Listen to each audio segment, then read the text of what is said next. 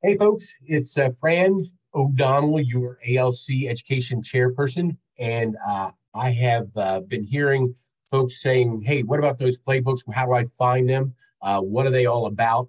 Um, basically, the playbooks are a step-by-step uh, playbook. Um, it's the stepping stones to uh, different models that we have within our MREA and some other things that we do just as part of our business uh, or our job as an agent. Uh, the new two ones out there are database assessment. And if you're uh, looking to go to an ISA model, uh, how you would set that up. And of course, our new lead source of uh, TeamRich. Um, there's an online lead playbook, social media, the new uh, seminars, open houses, newsletters, uh, 72 sold.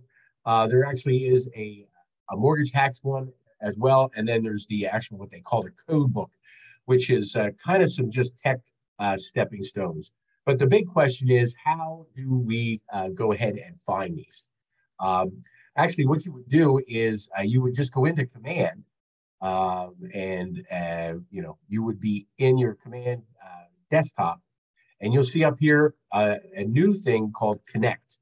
And when you hit connect here, it takes you out to uh, learning, which is that tab there with the uh, uh, mortarboard, and then we have the events. But under the learning tab, you're just going to type in playbooks.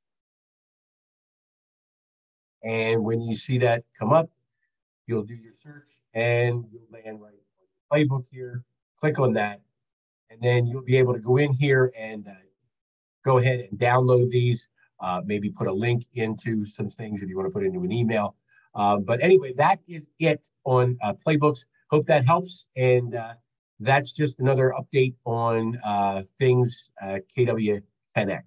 All right, thanks so much. And uh, I'll stop that share, say goodbye, and thank you.